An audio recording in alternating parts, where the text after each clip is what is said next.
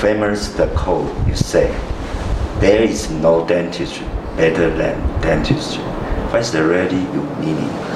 Yeah, you know, it's interesting, and I, and I think what you meant there's no dentistry better than no dentistry. Mm-hmm. And you know, it is it is a quote that I've said for many years, but it's very interesting. And, and what the quote was about was many times the dentistry itself created compromises that may have been worse than the problem to begin with.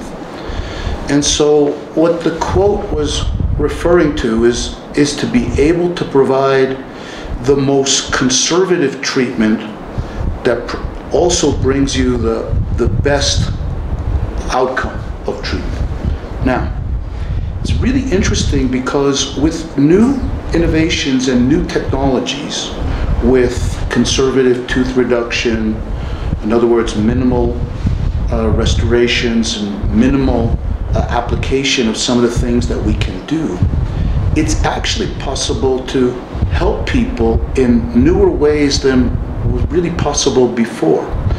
In other words, sometimes maybe the restoration in some patients may actually be better than what nature gave them.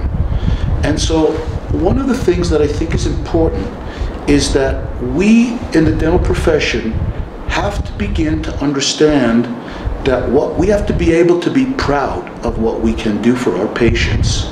It shouldn't be something that we feel ashamed in implementing.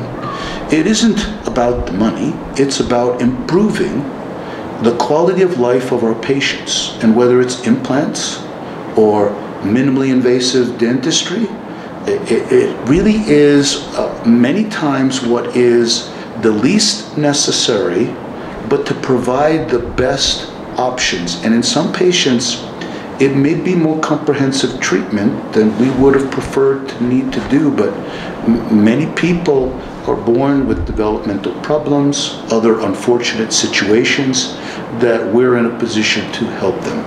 And so I, hope to be able to take your words and take that quote and maybe morph it so that, in essence, what I'm trying to say when it's time to do the treatment, we must be ready to act. And we must be ready to understand that in many cases, without our help, these patients are not going to be able to have the dentition uh, that they're going to need to sustain a quality of life that we'd all want to have.